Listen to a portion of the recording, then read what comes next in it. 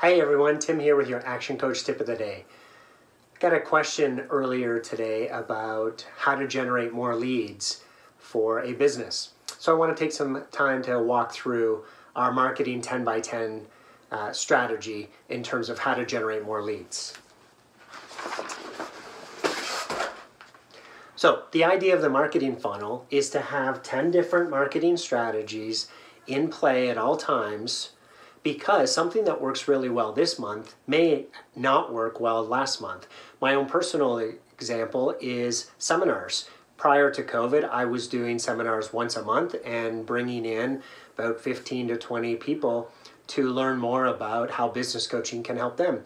Then COVID came and nobody uh, could go to a seminar, and I did some webinars instead as a way to pivot. So, what hap- what works well this month may not work well next month so you don't want to have all of your eggs in one basket. The idea of the marketing 10 by 10 is 10 different marketing strategies that make up about 10% of your lead expectations.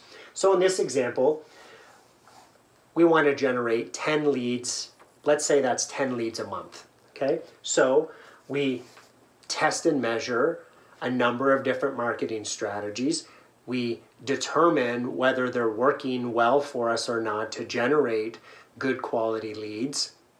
And we determine how much it costs to generate those leads from uh, a marketing expense standpoint or the amount of time that we're investing. So BNI is a good example. It's a networking group that I attend and it it uh, it's about an hour and a half a week of my time. So I want to make sure that I'm evaluating is that a good use of my time as well. So that's what this question mark is here is is the process of testing and measuring each of those leads so that or each of those marketing strategies so that you can optimize over time. If one's not working, you want to dig into it and understand why it's not working. And maybe it's just not the right marketing strategy for you, so you've got to kick it out of the mix and replace it with something that is working. When you find a marketing strategy that's working really well, that has a positive return on investment, now it truly is a marketing investment, and you'd be more willing to put money behind that, additional money behind that month over month because it's generating more leads for you.